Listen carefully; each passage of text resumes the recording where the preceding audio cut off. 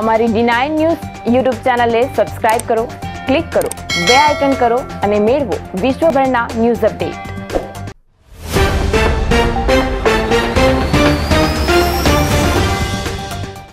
એક તરફ સરકાર ડિજિટલ ઇન્ડિયાની વાતો કરે છે, પરંતુ ઓલપાડ તાલુકાના અનેક ગામોમાં મોબાઈલ કનેક્ટિવિટી નથી મળી રહી, જેના કારણે ઓનલાઈન શિક્ષણનો ફિયાસ્કો થઈ ગયો છે. વાલીઓ અને વિદ્યાર્થીઓ વાહિયાત ઓનલાઈન શિક્ષણનો વિરોધ કરી રહ્યા છે અને માંગ કરી રહ્યા છે કે ઓલપાડ તાલુકામાં મોબાઈલ કનેક્ટિવિટી આવે એવા પગલાં ભરો તેવી માંગ સ્થાનિકો દ્વારા કરવામાં આવી રહી છે. સરકાર દ્વારા એક તરફ ડિજિટલ ઇન્ડિયાની વાતો કરવામાં આવી રહી છે, જો કે ઓલપાડ તાલુકાના શેગવા વશવારી દેલાડ, શિવાણ, ભારુંડી, રાજનગર, માધર, કાછબ, મોરથાણ, ગોલા, તેના, થોથુબા કશાદ, આંધી સોદામીઠા કાંસલા, વેલુક, શેલુત કાંછોલ કાંસલા, બજરંગ જેવા અનેક ગામોમાં મોબાઈલ નેટવર્કની કનેક્ટિવિટીને ખામી હોવાને કારણે નેટવર્ક નથી પકડાતા. આમ સમસ્યાને કારણે હાલની ઓનલાઈન શિક્ષણ વ્યવસ્થામાં પણ વિદ્યાર્થીઓ તેમજ વાલીઓને પણ સમસ્યા આવી રહી છે, જેથી વિદ્યાર્થીઓને શિક્ષણ પર અસર પણ થઈ રહી છે. ઓલપાડ તાલુકાના વિસ્તારમાં આ બાબતની યોગ્ય તપાસ કરાવીને જે તે ગામોમાં આવીને નેટવર્ક કનેક્ટિવિટીની ખામી આવતી હોય તેવા ગામડાઓમાં સર્વે કરાવવામાં આવે અને તેને ગામડાના જનહિતમાં અને વિદ્યાર્થીઓની સમસ્યાનો સામનો ન કરવો પડે તેનું સમસ્યાનું નિરાકરણ આવે તેવી માંગ કરવામાં આવી રહી છે. ત્યારે કોંગ્રેસ આગેવાને કેન્દ્રીય મંત્રી દર્શના જરદોશને આ સમસ્યાનું નિરાકરણ લાવવા માટે લેખિતમાં રજૂઆત કરી છે. ખાસ કરીને આજે ભારતમાં જે ડિજિટલ ઇન્ડિયાની જે વાત કરવામાં આવે છે એ અનુસંધાનમાં ઉલપાડ તાલુકામાં એકસો ને બે જેટલા ગામડાઓ આવેલા છે. આજે ઘણા કાંઠા વિસ્તારના ગામોમાં તમે મુલાકાત લેવ તો ઘરમાં ટાવર પકડાતા નથી અને એ ટાવર ન પકડાવાના કારણે મોબાઈલની કનેક્ટિવિટી ન હોવાના કારણે ઘણી વખત ઘણા એવા પ્રસંગો બને છે તેના કારણે લોકોએ ઘણી તકલીફોનો સામનો કરવો પડે છે અને છેલ્લા એક વર્ષથી જે રીતે કોરોના મહામારીના કારણે આખું વિશ્વ, ભારત દેશ અને ગુજરાત અને જિલ્લો અને આ ઉલપાડ તાલુકો પણ થંભી ગયો હતો. એના અનુસંધાનમાં રાજ્ય સરકારે શાળાઓ પણ બંધ કરેલી હતી અને એ શાળાઓમાં એક પરિપત્ર બહાર પાડીને ઓનલાઈન શિક્ષણ કેવી રીતે ચલાવવું અને ઓનલાઈન શિક્ષણની એક શરૂઆત કરી હતી. એ અનુસંધાનમાં ખાનગી અને સરકારી શાળાઓએ, પ્રાથમિક શાળાઓએ પણ ઓનલાઈન શિક્ષણની શરૂઆત કરી હતી. પણ ગામડામાં, ઉલપાડ તાલુકાના ઘણા ગામોમાં તમે જો તો આજે પણ આ મોબાઈલ કનેક્ટિવિટી ન હોવાના કારણે આ લોકોએ ઘણા છોકરાઓએ શિક્ષણથી વંચિત રહેવું પડ્યું હતું અને ઘણા એના, એને લીધે પ્રાથમિક શિક્ષણ હોય કે માધ્યમિક શિક્ષણ એનો ભોગ બન્યા છે.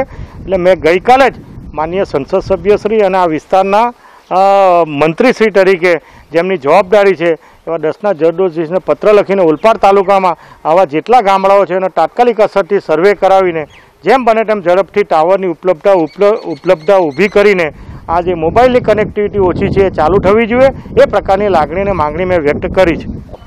એકચ્યુઅલી આ કોરોના કાળના સમયમાં સરકારે ઓનલાઈન શિક્ષણની જે પદ્ધતિ અપનાવેલી હતી પણ સરકારે ડિજિટલ ઇન્ડિયાની પણ ઘણી વાત કરી. પણ ડિજિટલ ઇન્ડિયામાં તમારે ખરેખર જે બેઝિક પાયો છે કે ગામ સુધી નેટ ઇન્ટરનેટ કનેક્શન અને નેટ મોબાઈલ કનેક્શન હવે એ જ ટાવર જ ઘરમાં આવતા નથી ઓલપા અમારા જે ઈશનપુર ગામનો હું વતની છું.